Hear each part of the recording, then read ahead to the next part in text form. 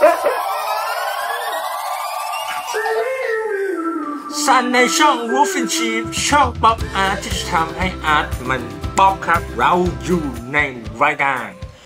โสตประสาทแดก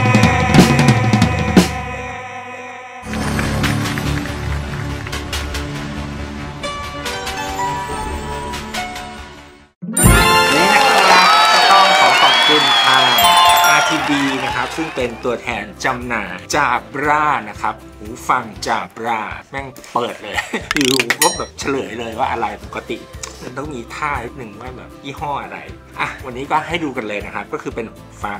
จาบราซึ่งเขาอัปเดตเป็นซีรีส์ใหม่แล้วอืมไม่ใช่ซีรีส์ใหม่ ต้องบอกว่ารุ่นใหม่ของซีรีส์เพราะว่านานแล้ว 2 ปี ข้อดีของจาบราเนี่ย เอาเท่าที่ผ่านมานะ มันฟังดูถ้าเกิดสมัยโบราณนะมันจะเป็นแบบสำหรับคุยโทรศัพท์ ตอนสมัยที่มันยังไม่มีหูฟังฟังเพลงนะด้วยทัศนคติเรามันรู้สึกอย่างนั้น แต่พอแบบว่าได้ใช้จริงรู้สึกว่าแบบเฮ้ยเป็นหูฟังที่แบบสมูทมากเลยอะหมายถึงว่าวัสดุเองหรือซาวเองอะไรเงี้ย มันค่อนข้างสุภาพ ซึ่งเราชอบนะเออแล้ววันนี้นะครับเขาก็ออกมาใหม่เป็น 2 ตัว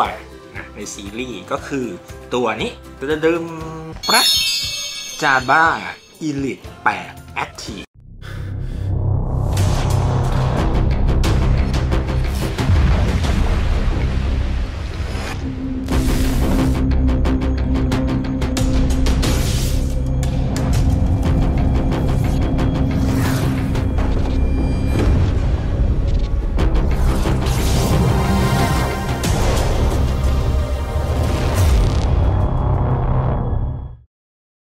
นี้นี่เป็นตัวรองสำหรับคนที่ออกกำลังกาย ซึ่งดูจากสภาพกูแล้ว ออกกำลังกายมากๆบอกมาก ๆ มันก็จะมีความทัฟของไอตัวนี้นะแต่เดี๋ยวอธิบายว่ามันเป็นยังไง ส่วนอีกตัวมันก็จะเป็นตัวท็อปก็คือ Elite 10นะหลักๆเลยตัวนั้นก็คือมันจะเอ่อไดเวอร์ใหญ่กว่า แล้วก็มีระบบ Dolby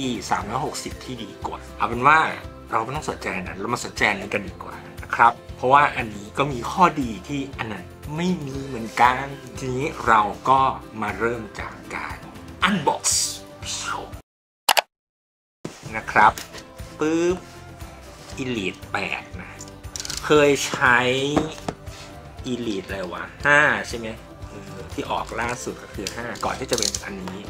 เป็นหูฟังที่กลางดีสำหรับคนที่แบบ ไม่ได้แบบหูเฟี้ยวฟ้าวอะไรเงี้ย แต่อันเนี้ย เฟี้ยวฟ้าวนิดนึง ถือว่าไม่ธรรมดานะครับต้องขอขอบคุณทาง RGB อีกครั้งนะครับครับ ตัวนี้กัน 2 ปีนะศูนย์จะเป็นแจ็คเก็ตเนาะแจ็คเก็ต Elite 8 Active Nothing Tower Leaning Ghost Traps Lobblers Now What Birds ภาษาอะไรวะ Dolby Audio อ่าครับหลายชั้น การแพ็คแบบว่าหน้าตาดี Your Sound Your Way Download Free Sound ก็คือต้องใช้แอปด้วย ส่วนนี้ก็ต้องส่วนใหญ่ทุกตัวเดี๋ยวนี้ก็ต้องมีแอปทั้งนั้นอะเขาก็จะบอกว่าแพรยังไงทำอะไรได้บ้างอืควบคุมอะเราชอบมากเลยเนี่ย การควบคุมมันง่ายปะ ANC กดปุ๊บนะแล้วก็กด play ปุ๊บปุ๊บเดินเพลงเดินหน้า เสียงดังเสียงเบากดค้าง ข้อดีอีกอย่างของ Jabra เนี่ย ถึงแม้ว่าเราไม่รู้นะเรา conservative เรื่องนี้เหมือนกันก็คือ เรารู้สึกว่าการที่ปุ่ม physical อะ มันดีกว่าปุ่ม touchส่วนตัวแล้วเราชอบมากกว่าอะมาดูครับเรื่องสวยแพ็กเกจเขาฝรั่งครับเอาออกก่อนเดี๋ยวดูว่าข้างในมีอะไรนะครับ อันนี้ก็จะเป็นน่าจะเป็นเอียร์ฟีดก็จะมีมาให้อีก 2 คู่ มีมาให้อีก 2 คู่ ก็คือเล็กกับใหญ่ อันนี้สายก็จะเป็น USB C ไป USB A สีนะ สังเกตสีดีๆ มันจะเป็นสีแต่เห็นว่าสีเขาเป็นสีเดียวกับตัว body นะ ตัวนี้มันจะเป็นสีกรมเนาะ มีหลายสี อันนี้มันจะเป็นสีแบบทรายๆสีอะไรอย่างเงี้ยด้วย ก็เก็บไปนี่อะไร ก่อนอื่นเราก็ต้องมาดู body หน่อยตึ๊ดๆๆแกะชื่อจาบร่าอยู่ด้านนี้ หัวด้านนี้ครับแรงก็เป็นสีกรมมาท่านะครับ navy blue ใหญ่ไปหน่อยเนาะคือถ้ามันแบบสักเท่านี้เนาะจะดีมากเลยซึ่งรุ่น 10อะจะพอดีนะ รู้สึกว่าโอเคกว่านี้ มาเปิดดูครับปริ้งนี่มันจะเป็นยางยางๆอะเราชอบมากเลยอะฟิลลิ่งมันจะแบบเหมือนยางทาแป้งคือก่อนว่ายางทาแป้งดูเนี้ยบก่อนอื่นนะครับ เราก็ต้องมาดาวน์โหลดแอปก่อนแอปพลิเคชัน Jabla Sound Plus ตริงเขาก็จะบอกว่า Bluetooth permission is required allow ก่อน allow come to Jabra searching ก็ต้องเปิดใช่ไหมจึงตื่นตื่น select your device เราเป็น 8 ใช่ไหม8 active ตึง how to pair กดไปที่บลูทูธนะครับ ถ้าไม่เจอนะครับ วิธีการก็คือให้ กด 2 อันนี้ 3 วิปึ้งอ่าจะขึ้นมาเลยเห็นไหมแล้วก็ connect จึ๊บกดดูสภาพก่อนปึ้งอ่าก็จะกลับมาที่แอปพลิเคชันนะครับ ปรึม Welcome to Sound Plus Spatial Sound Spatial นี่มันมีเยอะมากเลยนะละมันมีเยอะแบบมากเลยนะ มันเป็นของ Dolby 360 มันก็จะเรียกมี Atmos ก็มีอีกห้อหนึ่งก็จะเป็นแบบ Spatial 360 อะไรเงี้ย คือมันเยอะ เยอะ เดี๋ยวนี้มีคนทำเยอะ อันนี้เป็น Dolby Audio นะครับ ก็เปิดได้ปึ้งมันจะมีความเซอร์ราวในระดับหนึ่ง แต่ว่า ยังไม่มากเท่า Dolby Atmos มันจะอย่างนี้เลยอะสมมุติว่านี่นะอยู่เนี่ยเราหันซ้ายมันก็จะแบบอยู่ตรงนี้อยู่ดีหันขวาคือทุกอย่างมันจะอยู่ที่เดิมเนี่ยร้องตึ๊ดตึ๊ดตึ๊ดเนี่ยปริง My Control นี่ครับอย่างที่บอกเมื่อกี้ มันก็จะมีซิงเกิลกดปั๊บสองกดสองกดสองกดปุ๊บ next tag อืมนี่อันนี้มี3กด restart tag กลับไปใหม่ left ear ก็เหมือนกัน volume ก็คือกดฐานทั้งสองข้างนะครับ quick start guide อันนี้ก็ไม่มีอะไรนะครับ เขาก็ให้ดูว่ามันมีอะไรบ้าง นี่ก็ hear true นะครับ ก็คือเหมือน ambience มี ANC ตัวนี้มี ANC นะครับ เป็น ANC แบบ active active ก็คือแบบก็ไปตามสภาพแวดล้อมเลย มากน้อยอะไรเงี้ยแล้วแต่สภาพที่เราเดินไป เพราะฉะนั้นอันนี้เราก็ต้องมาเทส ANC ด้วย เดี๋ยวเราจะมา test กันไว้ assist ไม่ช่างแม่งมีอัปเดตเฟิร์มแวร์นะครับ อ่าโอเค อัปเดตเสร็จแล้วนะครับ ตอนนี้ถ้าเกิดใครที่ซื้อมาต้องอัปเดตจะนานเลยนะ ใช้เวลาประมาณนึงทีนี้เรามา test เลย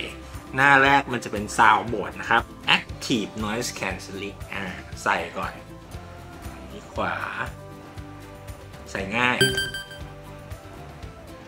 ปุ๊บเลย Active แล้วนะครับ นี่นะครับ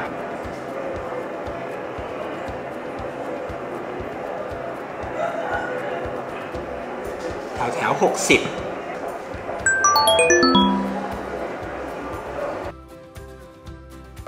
โหล test one two one two เชิดเชิดเป็นไงบ้าง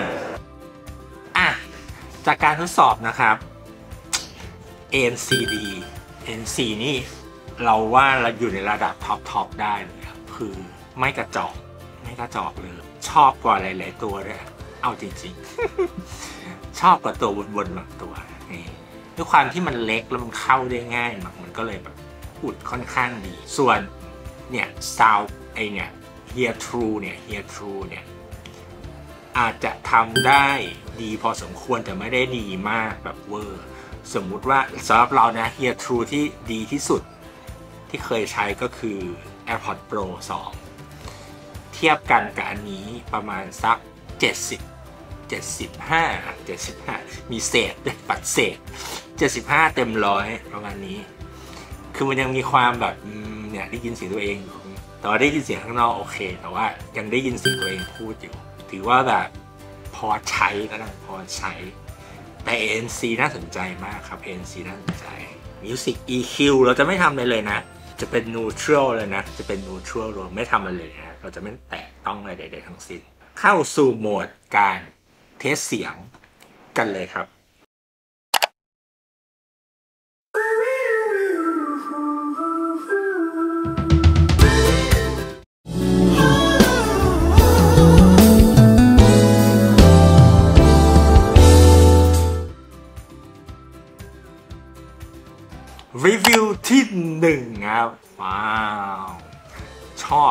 คือ มันฟังสบายไม่ใช่อะไรมันแบบน่าหลับมาก ฟังแล้วแบบน่าหลับมากจาบล่าคือเราด้วยความที่เราว่ามันเหมือนเดิมอะมันมีความนุ่มของย่านตัดเอ่อพวกกระเดื่องพวกเบสเนี้ยมันจะนุ่มแต่ไม่เหลว มันจะค่อนข้างมีพันช์แต่ว่าไม่คมไม่ครบปรึ๊บไม่กระชับแบบปรึ๊บปรึ๊บเนี้ยแต่อยู่ในระดับที่ฟังสบายชัด แล้วก็ เออย่านกลางกับด้านย่านสูงอาจจะอาจจะดูบลักย่านกลางกับย่านสูงอาจจะดูบางแต่ว่าไม่บางมาก ยังไม่กรอบอะ ยังไม่กรอบ เหมือนเขาเกรียบกุ้งเลยยังไม่กรอบพอดีอะเออยังอยู่ในเกณฑ์ที่ฟังแล้วมีเนื้อ แต่ว่าอาจจะแบบไม่ได้มีเนื้อเยอะ จะเรียกว่ามันแอบ color จุดหนึ่งแอบ color จุดหนึ่งเพราะฉะนั้นย่านกลางกับย่านสูงเนี่ยมันก็เลยจะแบบ ดู color ไปนิดหนึ่ง แต่ว่าเราว่ามันฟังสบายมากเลยอืมคือสมมุติคนที่ไม่ได้ชอบกลางแบบโป้งเงี้ย มันก็พอดีมันก็จะแบบฟังสบายสำหรับคนที่ชอบเสียงกลางอย่างเราที่ที่แบบแน่นๆหน่อยก็อาจจะไม่ได้แบบสะใจ แต่ว่ามีให้ฟังเออจะมีให้ฟัง สิ่งที่เราชอบอันหนึ่งคือย่านกลางต่ำกลางต่ำมันเนี่ยมันจะมีมิติ มันมีมิติแบบมันจะไม่ตีกับย่านต่ำอะนึกออกปะปกติต่ำกับกลางต่ำเนี่ยมันจะค่อนข้างแบบอยู่ในระนาบเดียวกัน แต่อันเนี้ยมันเหมือนมีเลเยอร์ขึ้นมาอย่างเงี้ยเลยอะมันก็เลยทำให้รู้สึกว่าเพลงมันดูแบบกว้างเออโดยรวมเนี่ยสเตจเนี่ยค่อนข้างไปทางกว้างนิดนึงกว้างนิดนึงด้วยเอาครับเรามาต่อด้วยเพลงที่สองกันดีกว่า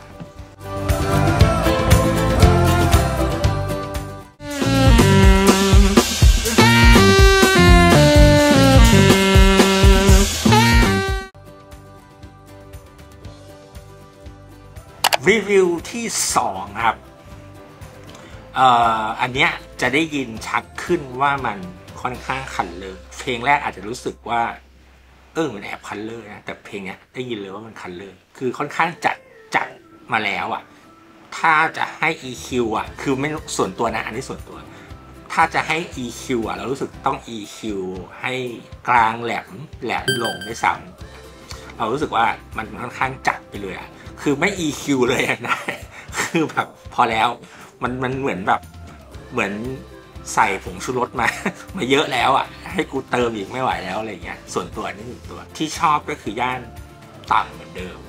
ต่ำกลางต่ำมันเหมือน มีความดึงดึงเหมือนยังลบอะดึงดึงเหมือนยังลบอะเออแต่ชอบคือมันเป็นแบบมันฟีลลิ่งที่หน้าหมันเขี้ยว เออมันเป็นย่านต่ำที่น้าเหมันเขี้ยวสมมติแซกโซโฟนเนี้ยเพลงเนี้ยเราก็จะบอกประจำว่าถ้าเกิดหูฟังที่เอาไม่อยู่อะ มันจะแหลมปรึ๊ดบ่ายปรึ๊ดเลยอะแต่อันเนี้ยได้ยินว่ามันแหลมแต่เหมือนแหลมอยู่ไกลๆอะจะไม่จะไม่มาบาดเรา หรืออย่างเสียงสูงเนี้ยแฉตอนสาดมันจะแบบสาดได้ยินว่ามันสาดเลยแต่ว่าคืออยากอยู่ห่างเรา แต่ว่าได้ยินความสะใจของมันอยู่ แต่ว่ามันก็ไม่ได้ใหญ่ไงประเด็นคือมันไม่ได้ ไม่ได้เล่นใหญ่บางแบบพอดีพอดีแบบคาบเส้นนะเอาจริงคาบเส้นอีกอีกนิดนึงจะบางมาก เออถ้าเยอะกว่านี้หน่อยก็ดีอะไรเงี้ยเอาละครับ เพลงที่สามครับ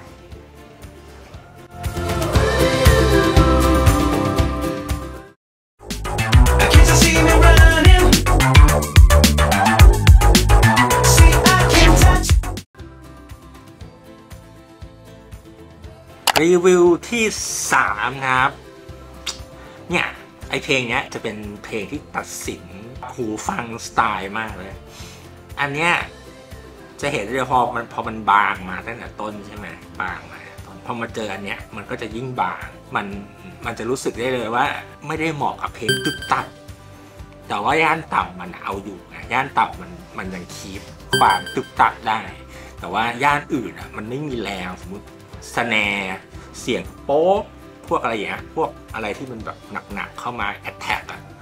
มันจะไม่มีแรงเพราะว่ามันมาแบบบางมันไม่สะใจ ความสะใจมันจะไม่มา มันจะไม่โป๊ะโป๊ะเข้ามาแต่ว่า มิติต่างๆเนี้ยโอเค จะรู้สึกว่าโอ้กว้างสบาย กว้างสบาย แอบมีเกือบบาทเหมือนกันนะเพราะเพลงสไตล์นี้มันจะมาจัดจ้านมาอยู่แล้วไงแล้วมาเจอจัดเข้าไปอีกก็ค่อนข้างเอาอยู่ค่อนข้างเอา เก็บอาการพวกพวกบัดบาดได้ดี ทีนี้มาถึงจุดที่จำเป็นอีกอันหนึ่งก็คือการโทรครับ เรามาเทสการคุย ฮัลโหลเทส one two three Java Elite 8 Active นะครับ เป็นยังไงบ้างเสียงครับชัดเจนดีไหม เป็นยังไงครับ เสียงกอกกวนไม่มีเสียงจิ้งหรีด สียงรถก็ไม่มีเลยเงียบหาย เสียงรั้วเสียงรั้วเออเนี่ย one two one two one two ชัดเจนไหมครับหนึ่งสองสามสี่อะหลังจากการทดสอบนะครับ การคุยอู้ทำได้ดีมากเลยนะเราว่า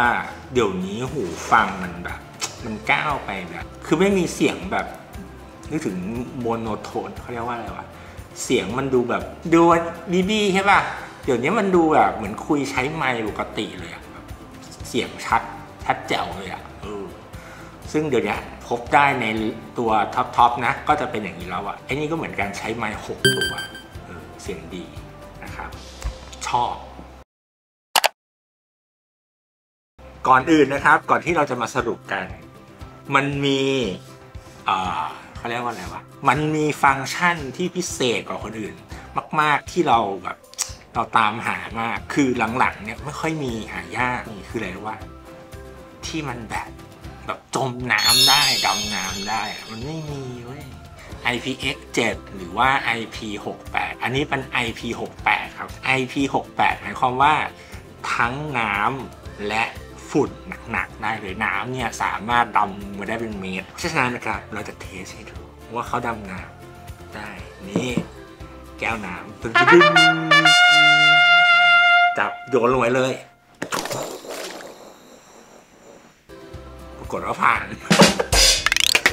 อะหยิบออกมาหนีบยากนี่ สบายสบายครับแอลอ่าปกติครับต้องเช็ดหน่อยนะซับหน่อยไม่ใช่แบบ มาดุนๆเลยนะ เพราะว่าบางทีมันน้ำมันไปบังลำโพงอะไรเงี้ยเราก็ต้องเช็ดเอาทนอึดทัฟสำหรับพวกฝุ่นทรายอย่างนี้คุกคุกคุกคุกเงี้ยก็อยู่ได้ก็อันนี้ก็ถือว่าเป็นข้อดีที่ไม่ค่อยได้เห็น ก็อันนี้ก็ถือว่าเป็นฟังก์ชันที่ เอาละทีนี้เรามาถึงการสรุปกันเลย เริ่มจากวัสดุนะครับ วัสดุ วัสดุนะครับก็นี่เคสถือว่าโปรอยู่แล้ว ไม่ยึกยักยึบยักยึบยักแน่นนะครับ แต่ว่าดูออกพลาสติกไปหน่อย เออ เราจะเป็นคนที่ไม่ชอบแบบว่ามันทูพลาสติกไปหน่อยเนี่ยนี่ยพลาสติกแบบนั้นนะ แล้วก็ไซส์มันอะ มันดูประหลาดบอกไม่ถูก Elite สิบอะมันจะเล็กกว่านี่ประมาณนี้ก็ตัวหูฟังนะครับ ซึ่งอันนี้เป็นข้อดีด้านๆดูดีแล้วก็ดูแบบเหมือนทาแป้งล้างแต่มันล้างได้ไงอันเนี้ยมันทนน้ำใช่ไหมล้างเลยล้างได้ไม่เป็นไรก็ถือว่าเป็นวัสดุที่ดี แล้วก็รูปร่างหน้าตาก็เป็น plain ไม่ได้แบบว่าพิสดารอะไรซึ่งเราชอบ สำหรับเรื่องเสียงนะ ก็เราถือว่าใช้ได้เลย ไม่ได้อาจจะแบบถูกจริตเราแบบร้อยเปอร์เซ็นต์แต่ว่าถือว่าใช้ได้ เมื่อกี้เราลอง EQ กลางขึ้นมาหน่อยก็ดีขึ้น เป็นหูฟังที่ค่อนข้างเรียบร้อย สมูท เอ่อ ผู้ดี คนมีตังฟังเพลง ฟังดูดีสบายเคลิ้มๆอะไรเงี้ย ไม่ต้องแบบมายุ่งว่า โอ้ ต้องระบบ Hi-Res ต้องอะไรอะไรยุ่งยากอะไรเงี้ย คือทุกอย่างมันจะดูง่ายไปหมด อย่างปุ่มกดอะไรเงี้ย ความ conservative ที่เป็น physical เงี้ยนึกออกปะไม่ไฮเทคเกินไปอะ แล้วก็กดง่ายๆ ก็กดปึ๊บ playback กับ sound มันก็กว้างเพราะ ส่วน ANC ดี ANC ดี แบบดีแบบดี ดีเลย ดีกว่าบางตัวใน top tier ที่โอ้เคลม แต่ว่า HearThrough Ambience อะไรเงี้ยอยู่ในระดับที่ว่าพอใช้ประมาณแบบ 7.5เต็ม10อะไรเงี้ยพอยัดหูมันก็จะมีความได้ยินเสียงตัวเอง ส่วนฟังก์ชันในการดำน้ำเนี่ยเราชอบเพราะว่าเราเป็นคนชอบแบบ ฟังเพลง ฟังข่าวอะไรเงี้ยสบายอาบน้ำก็ได้มันก็แบบสามารถเปียกสามารถอะไรไม่มีปัญหา แล้วความที่เป็น physical นี่คือเป็นข้อดีของ physical อย่างหนึ่งนะ เวลามันเป็นพวก touch เนี่ย เวลามันโดนน้ำตึ๊ดหนึ่งก็จะแบบเหมือนกดอะกึกกึกเนี่ยมันจะไม่นิ่ง แต่ถ้าเป็น physical มันต้องใช้นิ้วเรากดตึ๊บลงไปอะก็ถ้าจะให้คะแนนนะครับ โดยรวมรวมทั้งหมดทั้งมวลนี้ ก็เอาไปเลยตึ๊ดตึ๊ดตึ๊ดตึ๊ดแปดจุดถือว่าใช้ได้นะครับกับราคาอ่าบางคนยังไม่รู้ราคาราคาประมาณ 7,000 กว่าบาท ถือว่าอยู่ในระดับเกือบท็อปเหมือนกัน ตัว 10เนี่ยจะเป็นตัวท็อปตัว10จะเป็นประมาณ 9,000กว่าบาทจะเป็นตัวท็อปก็ประมาณนี้นะครับ ขอบคุณทาง RTB ตัวแทนจำหน่าย Jabra ประเทศไทยอีกครั้งนะครับสำหรับส่ง Jabra Elite 8 Active มาให้นะครับ สาธุพบกันใหม่ครับในหูฟังหน้าเลยครับครับ